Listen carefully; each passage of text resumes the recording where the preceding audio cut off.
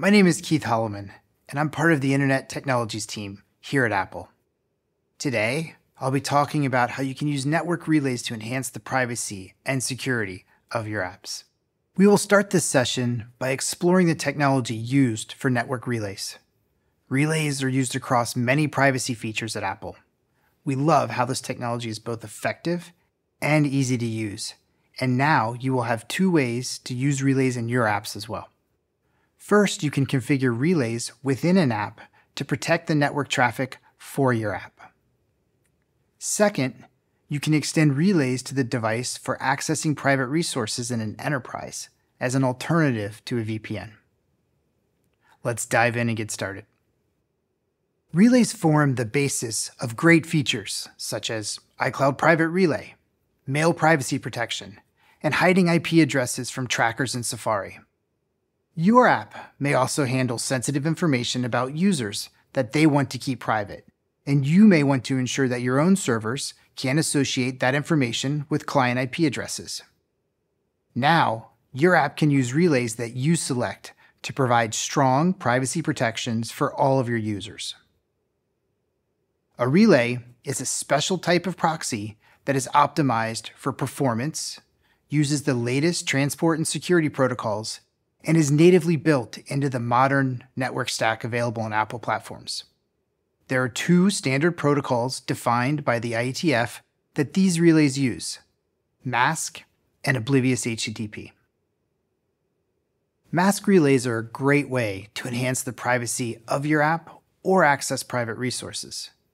You can send any TCP or UDP connection through a relay without needing to modify the backend server you can chain relay servers together so that no single entity can combine an IP address and browsing activity into a detailed profile of a user. This is the cornerstone technology behind iCloud Private Relay. Relays are also a great way to access enterprise resources. A relay provides a better user experience, is more performant, and is easier to manage than a VPN. MASQUE relays use TLS 1.3 to secure all traffic to the proxy, unlike legacy proxy protocols. MASQUE uses QUIC, the latest transport protocol, and HTTP 3 to efficiently proxy and multiplex many connections over a single tunnel.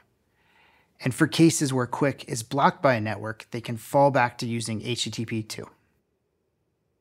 If your app sends HTTP requests that you want to make sure are private and not linked to other requests, such as anonymous metrics reports, database lookups, or DNS queries, you can also use Oblivious HTTP.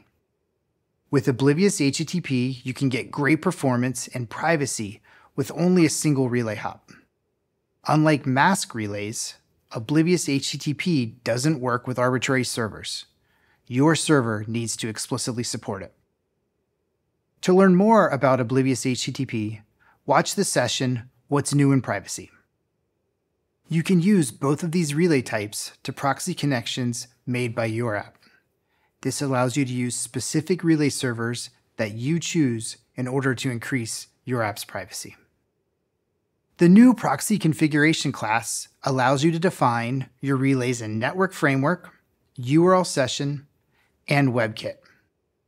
All three APIs use this common class in a similar manner and let you define relays for your entire app or just specific connections. Within the proxy configuration object, you can define proxies based on five different protocols. This is where you can specify the new relay types for both MASQUE and Oblivious HTTP.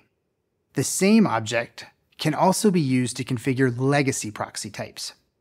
If you were configuring proxies on URL session or WebKit with dictionaries before, now is a great time to switch to using this new object.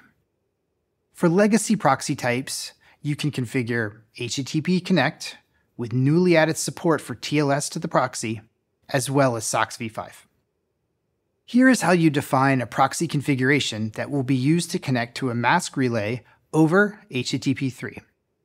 First, use an NW endpoint to specify the server name or URL, and use it to define a relay hop. For these relay hops, you can specify support for HTTP 3, HTTP 2, or both. The HTTP 2 server will be used as a backup in case access to HTTP 3 using the QUIC protocol is blocked by a network. Then, create a proxy configuration by passing your relay to a relay hops array parameter. If you want to define a multi-hop relay configuration, you can pass two relays here. To use your proxy configuration with an NW connection from Network Framework, create a privacy context, or use the default context, and add the proxy configuration to that context. Set the context on your NW parameters, and then pass these parameters when you create and start the connection. Now, this connection is sending all of its traffic through the proxy.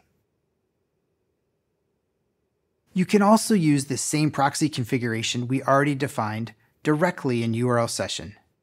To do this, add your configuration to the proxy configurations array on your URL session configuration. Then, run tasks in your URL session as you would normally, and they will now also use the proxy.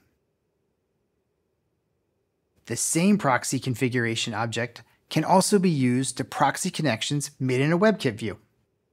First, initialize a WebView configuration, add a data store, and add your proxy configuration to the data store. Then initialize a WebView with your configuration. Once that's done, you can load the requested URL and use the WebKit view as you normally would. Now, this WebKit view is also sending its traffic through the relay. Besides adding relays to your own apps, in iOS 17 you can configure them for the whole device. In addition to letting you build privacy features, this is a great way to use relays to provide access to private enterprise network resources. You may be using a VPN to provide access to your enterprise resources. Relays are an alternative to VPNs that can provide a better user experience and are easier to manage. A network relay does not require complex session negotiation and often requires fewer round trips before actual user data is transferred. This ensures that a user's first load of a private resource is the most responsive interaction possible. A relay also avoids the usage of tunnels, virtual interfaces, and additional IP addresses that are associated with VPNs. Since you can configure multiple relays simultaneously it is easier to access different private domains located in different networks. Enterprise companies that want to use relay servers as an alternative to VPNs now have options to use them with their own infrastructure. Cisco is providing an enterprise relay service as part of the Cisco Secure Edge offering. We're excited to see enterprises adopt this option for providing remote access for their users. There are two ways to install a MASQUE relay configuration on a device. Enterprise organizations can push a configuration via Mobile Device Management, or MDM, to define relays using a new relay payload type. These payloads can apply to managed apps, domains, or the entire device. Second, you can write an app that uses the NERelayManager API to define your relay. These configurations can apply to specific domains or the entire device. Both of these are available in macOS, iOS, iPadOS, and tvOS. And now that network extension support is added to tvOS, VPNs are also newly supported in tvOS 17. Here's how you configure a relay using a configuration profile. Just like in the proxy configuration API for your apps, you define the relay URL. Just like in VPN profiles, you can use a client certificate for authentication to your enterprise servers by referring to a certificate payload in the same profile. You can have the relay apply to specific domains by adding them in the match domains portion of the payload. Next, we will see how an app can use the NERelayManager API to add relays to a device programmatically. To define a relay, you will need to initialize an NERelay object, and then configure the URLs of your relays. Here, I am using the same relay for both HTTP2 and HTTP3. If your relay requires additional HTTP headers, add them to the NERelay object. You will also need access to the shared NERelayManager object, as this is where you will store the NERelay object you just created. If you want your relay to apply to only specific domains instead of the whole device, add those domains to the match domains array. The final step is to make sure your relay is enabled and install your NERelayManager object into the system preferences. Let's look at relays in action. I really love mountain biking, and I even opened my very own bike shop. My shop has an online store and an internal website where I can track all of my orders. That website is on my internal network and only available to employees.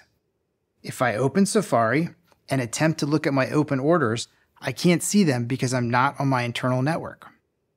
Once I install a relay configuration, I'll be able to access my internal network from anywhere. If I open my sample relay app with the code we just walked through, I can configure the entire device to use my shop's relay while accessing my internal domain. This configuration will now also be visible in settings. And we can see that it will be using the relay when I access internal.example.com. Now, when I return back to Safari and again attempt to look at my open orders, now I can see them in just how many orders I need to get shipped out. It's that simple, fast, and responsive on the first load. Relays are modern, standards based proxies that can improve the security and privacy of your app without compromising performance. Directly adopt MASQUE relays and oblivious HTTP relays in your app to enhance privacy for your users. And for enterprises, start replacing the use of VPNs with relays that are easier to manage and provide a more seamless user experience. Thank you for taking the time to watch today. I can't wait to see how you use relays.